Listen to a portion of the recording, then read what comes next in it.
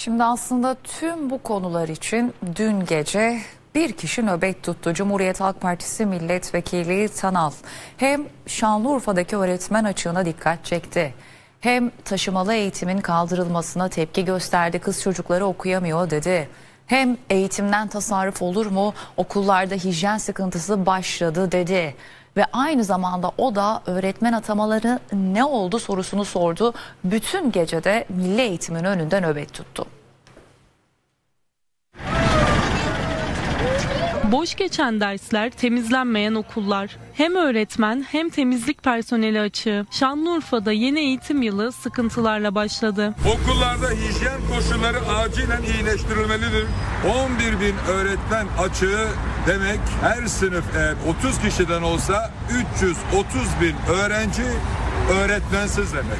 Milli Eğitim Bakanı Tekin ise hijyen sorununu soran muhabiri böyle geçiştirdi. Gerçekten çok büyük bir sıkıntı var okullarda. Basketbolla ilgili sorularınız varsa cevap verelim. Ama bütün Türkiye bunları Basketbol lisesiyle alakalı sorunuz var mı?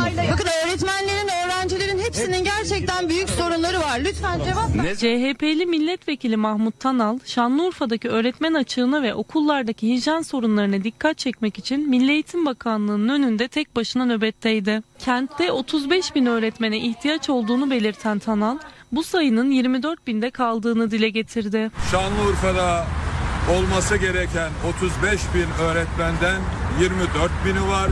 24 bininde 14 bini kadrolu, 10 bini sözleşmeli, 11 bin öğretmen açığı var Şanlıurfa'da. Aylar önce açıklanmasına rağmen öğretmen atamalarının halen yapılmamasına değinen CHP'li Tanal, mülakat oyunlarını bırakın diyerek iktidara seslendi.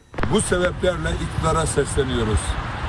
Mülakat oyununu bırakıp adil ve şeffaf bir şekilde yeterli düzeyde öğretmen atamasını yapın. Ve yurt genelindeki eğitim yuvalarında tasarruf tedbirine takılan temizlik personelleri. Bütçeyi kısmak için çalışan sayısı düşürüldü, okullarda temizlik sadece 3 güne düştü. Hijyen sorunu baş gösterdi, hem veliler hem öğretmenler endişeli.